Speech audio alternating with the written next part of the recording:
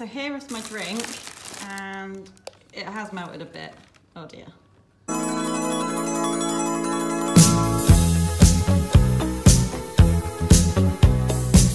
So it's a caramel popcorn frappuccino. I think it'll be okay. It still tastes good, but it is quite melted. Let me just put the ice away a second. Okay, done. Oh, it is so good. So if you follow my channel regularly, you'll know that I've like taken a month off recently from recording. So this is like my first videos back because I just felt like I'd gotten a bit stuck in my recovery and I, I wasn't really making that much progress. And yeah, I just needed a, a break really to sort my shit out and get myself back on track. And I feel like in that time I have made a bit of a kind of breakthrough and yeah, pushed past some sort of mental blocks that I've had. So I don't know if it's a bit too personal, but I was just gonna sort of share what's been going on and how that's come about.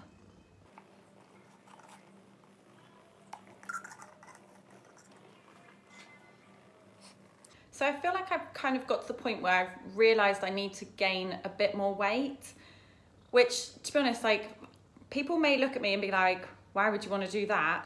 Because I might supposedly be a healthy BMI now, but like my head is still fucked if I'm really honest, and like I'm still completely consumed by my eating disorder and not really properly in life enough.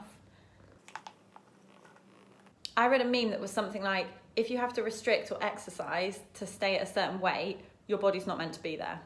Which I am starting to really see in myself. Like it doesn't matter if I'm technically a healthy BMI or if I'm getting compliments about how I look or if I can fit into a certain size pair of jeans or wear skinny jeans and a crop top or whatever. Like, my body does not give a fuck.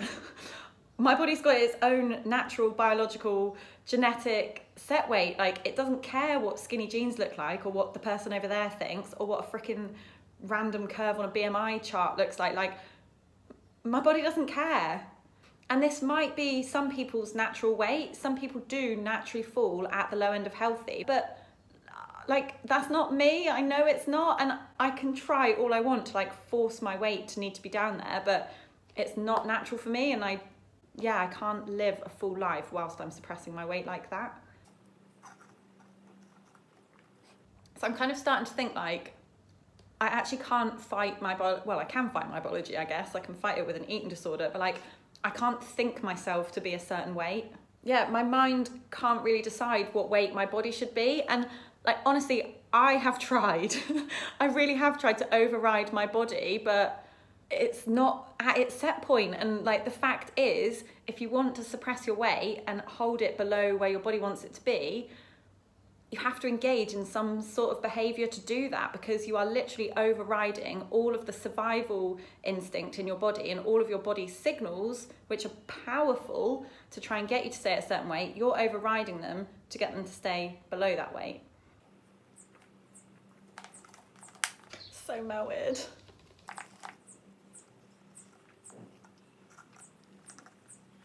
So when I stopped recording about a month ago, think I just got so stuck because I so badly wanted my body to just be happy at this low end of healthy. And it's like, you kind of hit these weight targets and you think, okay, I'm fine now. Like, I actually did convince myself, like, I don't even have an eating disorder anymore. I'm fine.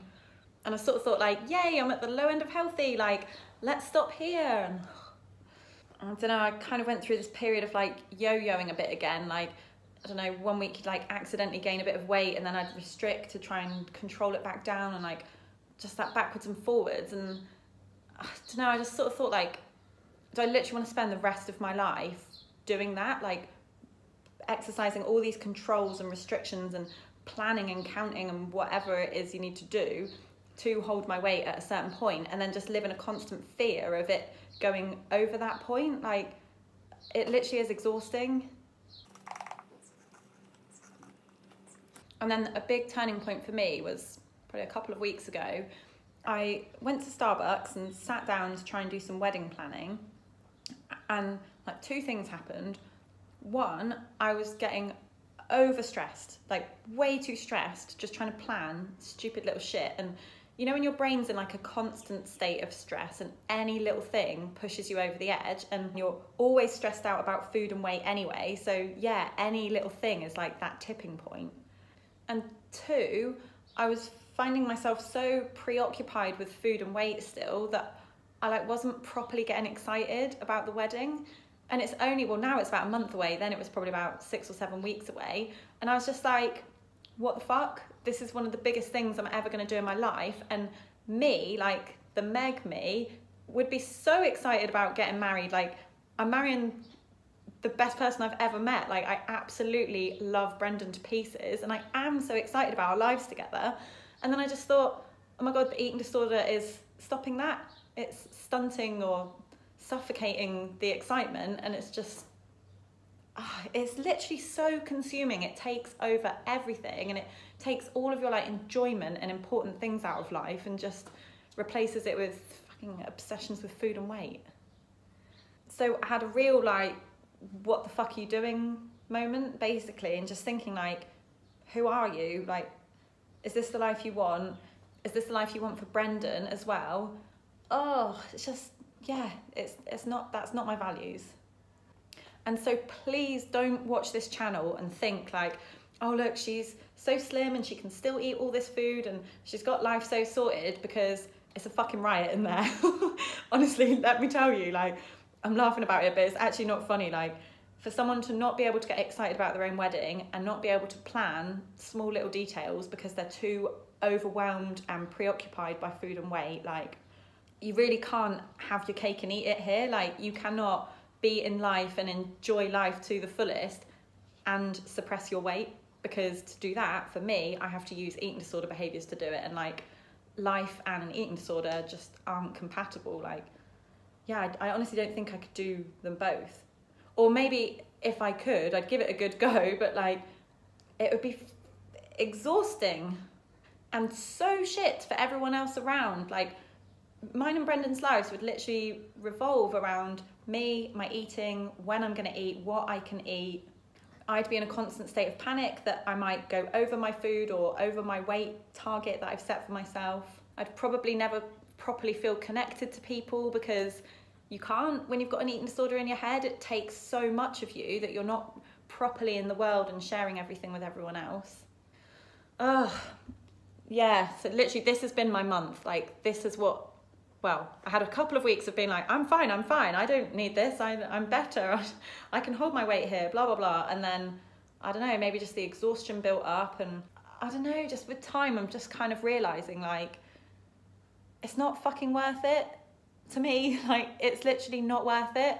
Is it worth the rest of my life having this skinny body that maybe I really, really want, but putting up all with all the shit that comes with it, over being in my body's healthy body, being at my set point basically, which I'm not gonna lie, I won't love. Like, it's not my ideal body, and I won't have that little bit of skinny to hold on to anymore. But I also won't have the shit that comes along with this little body and I'll be in life and I'll be able to connect to people and not obsess over food all the time and plan my day out and fantasize over my next meal or the next thing I'm allowed to eat or stress out when friggin' frappuccino melts a bit too quickly like oh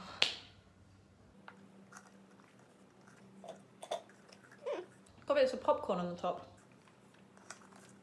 And I still forget that why like how shit it feels suppressing your body weight and how much better life is when you're in your body's healthy body your body's healthy body why do I keep saying that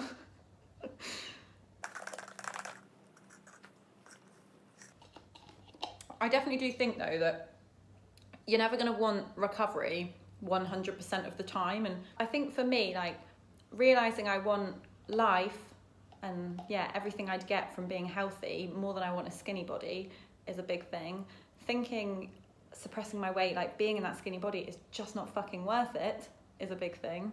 And also just accepting like this is not my body's natural weight, like because you can spend I honestly think people can spend years trying to force their body to be what it's not supposed to be and fighting against their biology by like restricting food, exercising, whatever eating disorder behavior it requires to hold your weight down and like it's just shit. For me anyway, like it's just not the life I want.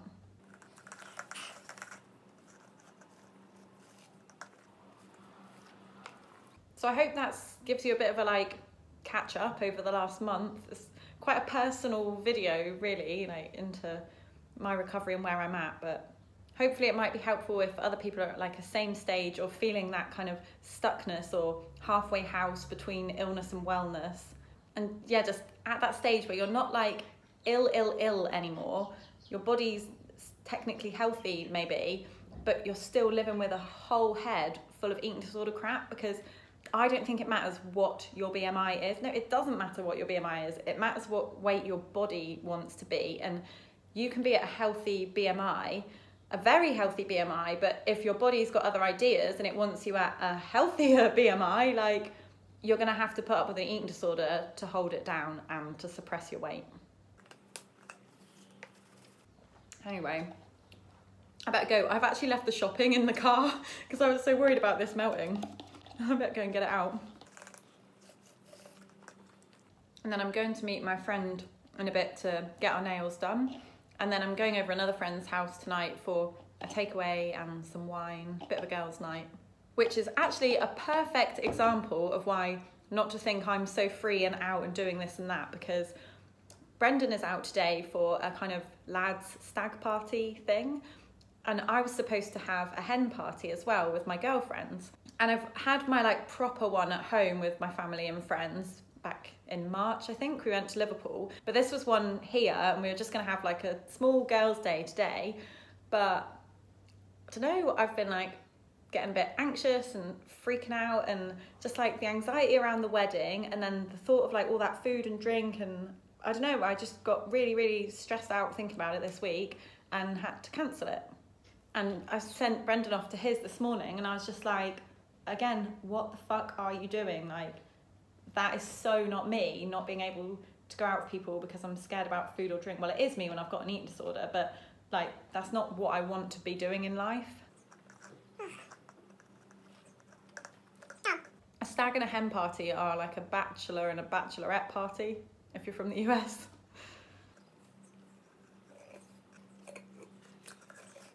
So yeah, I guess that's just another example of how I'm still not able to completely live the life I want to live because of food and weight fears and controls and blah, eating disorder shit. Can't really get any more of that. Anyway, it'll still be nice tonight, like seeing my friends and stuff. And to be honest, I just want to keep going now so that like on the wedding day and well when I post this it'll probably be in about two weeks. And then also our lives as well like yeah get myself into my body's healthy body. My body's healthy body I've done it again. What the fuck? Get to my body's healthy weight so that I don't have to keep living under the controls and whatever of weight suppression okay um, if you're new to the channel I'm not always this personal I feel like this has been a very personal recording but I kind of just wanted to give an update on like what's gone on since I last properly recorded. Beyonce's come to say goodbye to everyone. Say bye. Oh, she's a mute, by the way. Beyonce. So lots of love to everybody. Take care and I'll post again next weekend.